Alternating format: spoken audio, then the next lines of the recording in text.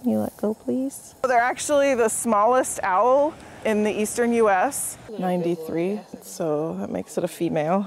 And they're really quite adorable. The other, the thing you have to keep in mind, and that I emphasize, is um, one is that they are wild animals, and so um, we treat them with respect and ethically, so that the main focus with the birds is on their safety and in collecting the necessary data, so that we can learn from them.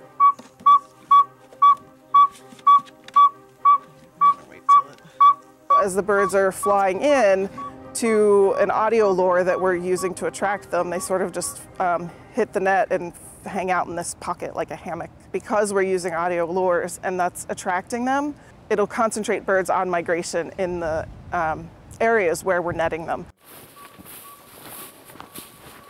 So we do have a fairly decent recapture rate, but even with that, I would say it's maybe about 30 to 35% of the birds that are banded throughout the region and the country are getting recaptured elsewhere.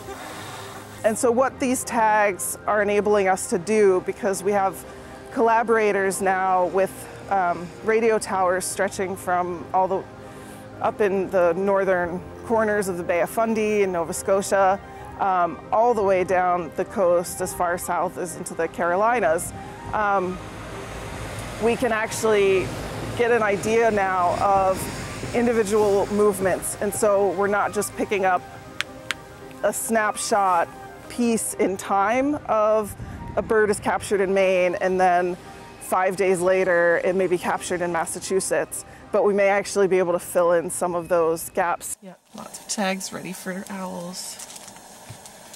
It's gonna be a big night. Yeah. Big night. Now we just need to get the owls. My name is Marie Martin. Um, I'm originally from the suburbs of Chicago and I transferred to the University of Maine fall 2012.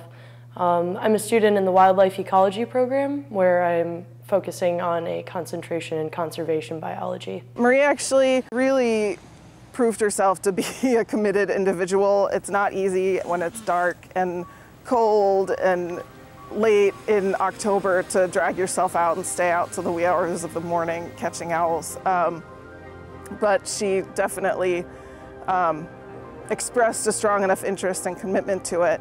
I think it's a great opportunity to take those individuals and sort of foster them in this field so that we have um, a continuing generation of young scientists coming up. Probably the most valuable part of meeting up with Adrian was just spending hours and days with her, watching her handle birds, talk about their life history.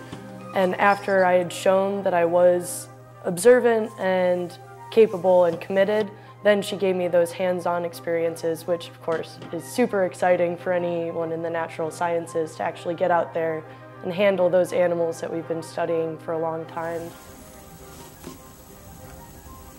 Part of it is just from a interesting natural history standpoint to understand more about the world around us.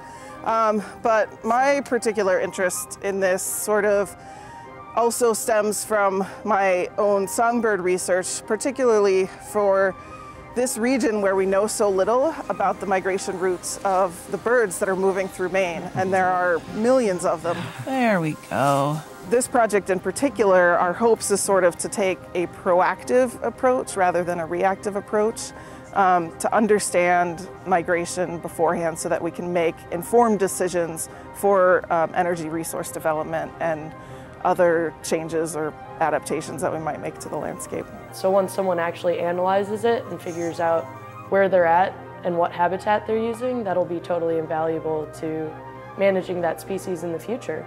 I mean, how can you manage something if you don't know where it is and what it's doing?